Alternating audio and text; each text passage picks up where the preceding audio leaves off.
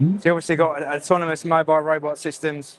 Uh, you got the large ones, you got the small ones, uh, and you've also got the um, uh, humanoid on wheels over there as well.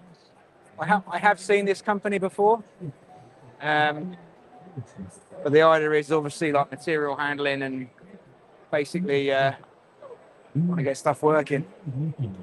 Here we go. So uh, UI UI or bots, UE bots.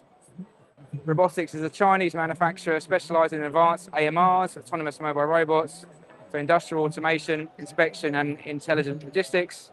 They're known for high precision navigation, customizable robot platforms, and strong performances in regularly regulated industries.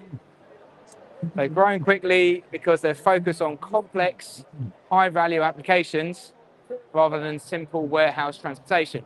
So a lot of the robots companies obviously can do material handling, and we'll go have a look at a few of those later on. But I'm guessing they do the uh, the top robots. So you have a Techman on the top of that one who's actually doing some of the manipulation, which is what you need because once you have a robot that goes from A to B, you know, ideally, you don't, you don't want someone standing there just waiting for a robot. You want you want someone uh, to be able to do the full job. So I'm guessing this is what these guys specialize in. Key robotic categories. So one, industrial logistics AMRs. So this is what this is. Inspection and maintenance robots. Okay, I can't see any inspection maintenance robots. Uh, maybe that guy with, with the arms can do a bit of that.